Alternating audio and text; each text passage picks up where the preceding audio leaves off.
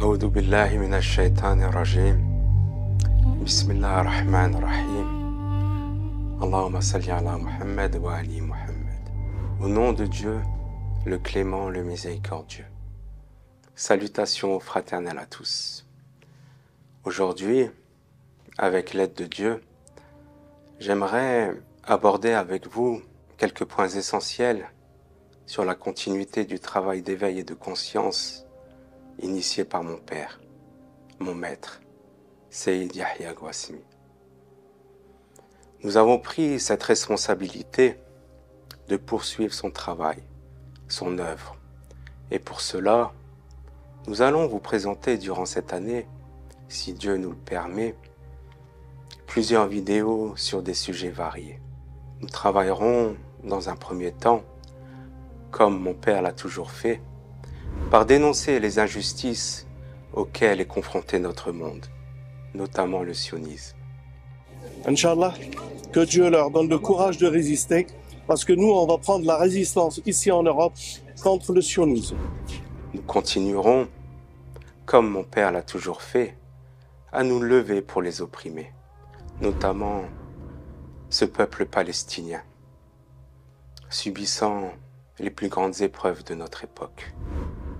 Nous continuerons, comme mon père l'a toujours fait, à alerter, à interpeller et à conseiller nos hommes politiques, nos dirigeants, nos décideurs. Nous leur apporterons, si Dieu le veut, une vision plus éclairée de la géopolitique mondiale, mais aussi nationale, afin qu'ils puissent prendre les meilleures décisions possibles.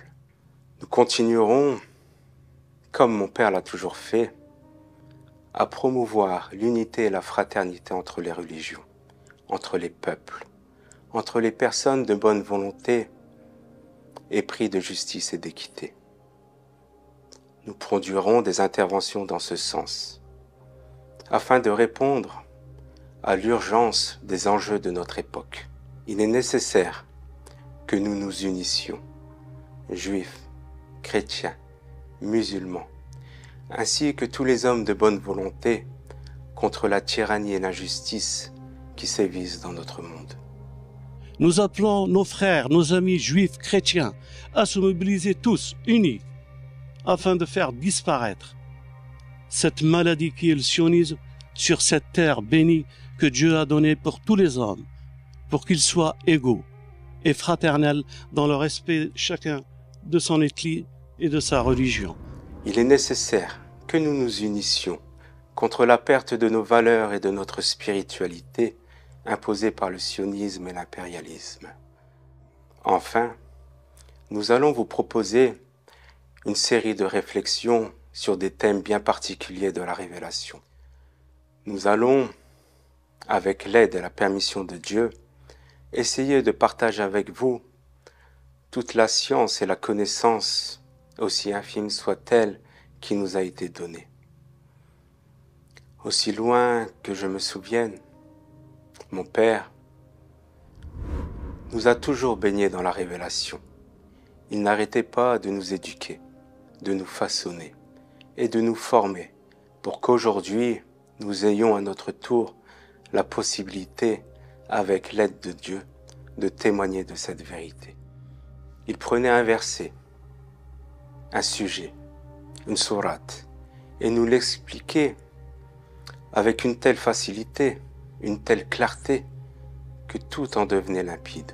Nous pouvions passer des heures, des semaines, ou même des mois à étudier, à méditer et à essayer de comprendre un seul verset, un seul sujet, jusqu'à penser l'avoir cerné et compris dans toutes ses dimensions. Je me souviens que pour certains sujets, comme par exemple la famille d'Imran, l'eschatologie, les gens de la caverne ou encore Youssef, on a passé des années à l'étudier et à les méditer. Et une fois que nous pensions en avoir fait le tour, avoir tout compris, il avait cette phrase qu'il disait, qu'il répétait et qui le caractérisait. Il nous disait, ceci n'est qu'un préambule. Tout cela pour vous dire que nous n'avons même pas encore effleuré la surface de la révélation.